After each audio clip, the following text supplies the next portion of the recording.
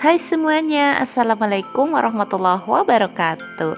Nah hari ini kita jumpa lagi ya bersama saya Bu Devia Dan saya akan membuat minuman kekinian yang ini tuh menyehatkan. Jadi teman-teman silahkan coba di rumah ya. Ini cara bikinnya gampang dan banyak banget vitamin uh, vitaminnya. Dan jika mau usaha ini juga bisa dicoba di rumah buat nambah pemasukan. Pokoknya simak terus ya teman-teman ke proses pembuatannya sampai selesai.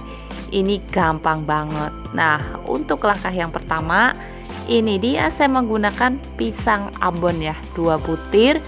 Ini tuh bagus banget tuh, banyak banget vitaminnya.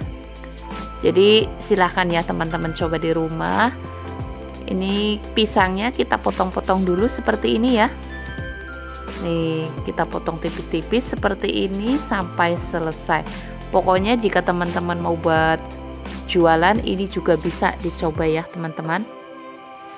Setelah dipotong seperti ini nanti teman-teman masukkan ke dalam freezer ya.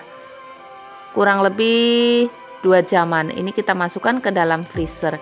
Sambil menunggu pisangnya kita siapkan dulu bahan lainnya ya.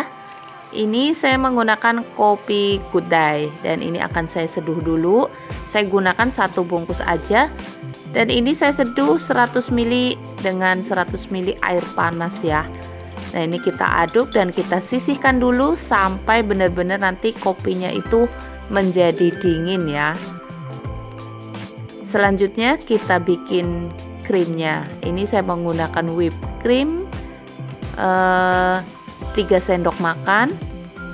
Ini saya gunakan yang pondan ya teman-teman setelah whipped cream kita tambahkan susu dan kau bubuk ya.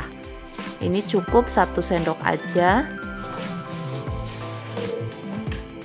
Kemudian tambahkan susu kental manis.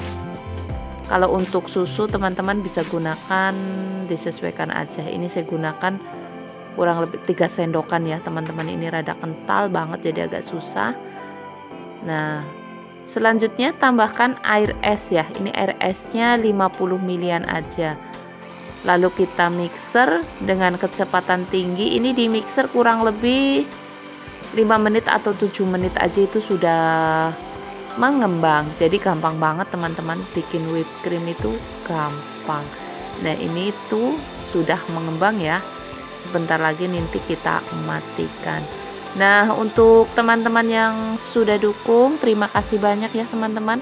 Terima kasih terima kasih dan terima kasih saya ucapkan untuk teman-teman semua yang sudah dukung.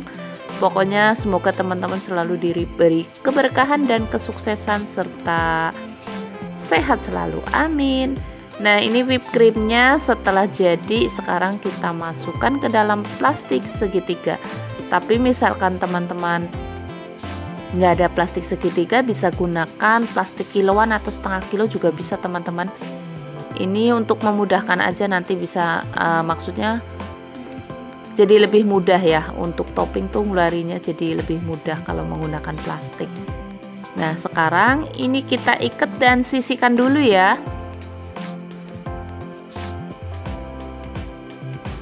Sekarang akan saya blender buah pisangnya ini sudah saya keluarin dari freezer ya. Kita tuang semua ke dalam blender lalu tambahkan es batu secukupnya aja. Ini kurang lebih es batunya satu gelas setengah teman-teman. Lalu kopinya yang tadi sudah dingin kita masukkan ya. Air es 200 ml lalu kita blender sampai pisangnya benar-benar halus ya. Ini tuh jadinya bagus banget teman-teman. Ini kurang lebih 5 menitan aja udah langsung halus teman-teman. Siapkan juga teman-teman eh, cup gelas 3 biji ya.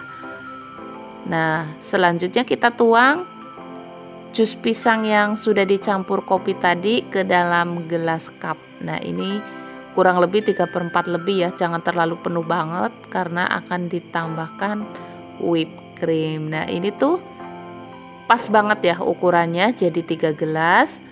Kemudian sekarang kita masukkan whipped creamnya teman-teman. Di atasnya ini tuh mantul banget loh. Jadi rasa pisang Ambon dikasih krim kayak pakai es krim gitu. Terus ada kopinya jadi tuh sensasinya e, berbeda. Pokoknya enak. Silahkan teman-teman coba di rumah ya teman-teman Nah untuk teman-teman yang baru gabung nih jangan lupa lo ya untuk tekan tombol notifikasinya supaya nggak ketinggalan video saya selanjutnya. Pokoknya dukung terus ya channel Bu Devi terima kasih banyak dan terima kasih. Nah setelah dikasih whipped cream kita tambahkan meseseres yang warna-warni ya teman-teman. Biar ini tuh cantik. Oke ini sudah selesai ya teman-teman. Selamat mencoba uh, dukung terus channel Budevia dan mohon maaf jika saya ada salah kata. Pokoknya terima kasih banyak ya terima kasih. Assalamualaikum warahmatullahi wabarakatuh